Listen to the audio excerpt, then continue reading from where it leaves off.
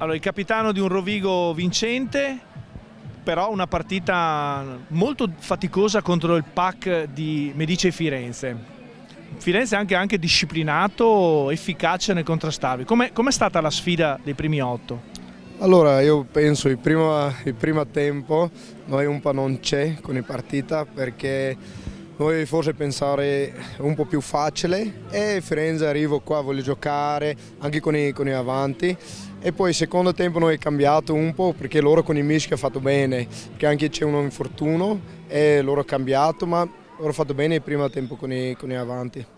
Bene, allora qualche giocatore infortunato nella mischia di Rovigo, ma mi sembra che rimessa laterale, mischia ordinata, Mall, tutto bene oggi? Sì, sì, sì, noi fatto come noi giocare, con i avanti, con i Mall, segna tre meta così, eh, manco un po' di mischia più vicino per meta tecnica, ma fatto bene il secondo tempo, il primo tempo eh, bisogna lavorare di più. Nell'intervallo vi è arrivata la notizia di Roma, che Avisano ha perso. Cosa vi siete detti?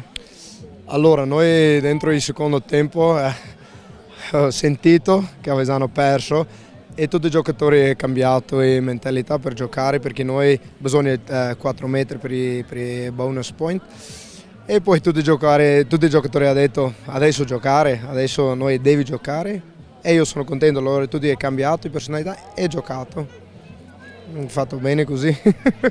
Ma adesso sabato a Padova è quasi finale? Sì, secondo me è finale, anche per noi. Sempre come noi preparare per, per partita, ma contro Padova è prima finale per noi. Cosa vuoi dire ai tifosi? Eh, grazie a tutti ai tifosi.